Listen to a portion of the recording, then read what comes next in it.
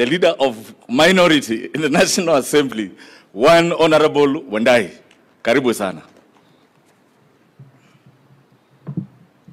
Uh, Your Excellency, uh, the President of the Republic of Kenya and the Commander-in-Chief of the Armed Forces, of the Defense Forces, the Kenya Defense Forces, Honorable William Ruto, you are uh, the Deputy President, Your Excellency Rigathi Gachagua, the Prime Cabinet Secretary, the two speakers, uh, all protocol observed.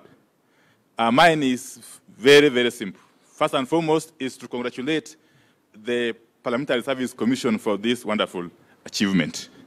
Your Excellency, when we came to this parliament for the first time in 2013, this was a parking lot.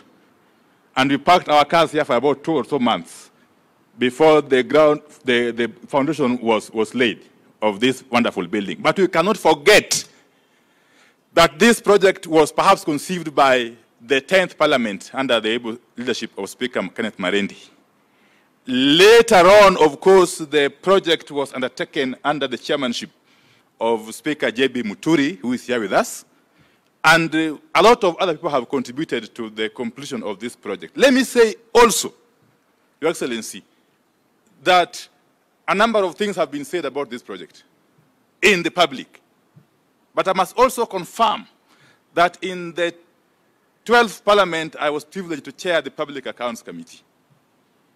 And uh, I was also uh, in that committee with my good friend, Honorable Aden Duale, and Honorable Makau, the Commissioner. At no one time were we able to establish any form of impropriety because we were able to look at the books of accounts for the PSC. And therefore, Your Excellency, I want to allay any fears that could have been there, uh, that perhaps this project uh, has been shrouded in some form of mystery or corruption. You know, I like uh, talking about facts. When I talk out there, I talk when I've got facts at my fingertips. And therefore, for this project, Your Excellency, uh, if I were to be asked, I would give it a clean bill of health. Namna namna hiyo? Eh, and therefore, for us as members of parliament, I think we are privileged. In this part of the world, I must say actually in the entire Africa, no parliament has got this kind of facility. I can tell you. Uh, we have been able to go across the continent and beyond.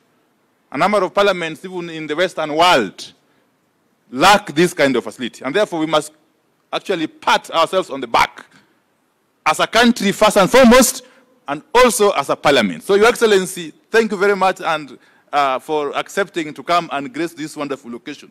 We look forward to working with you more and more as a parliament. As a parliament. Thank you very much. God bless. Thank you, Your Excellency.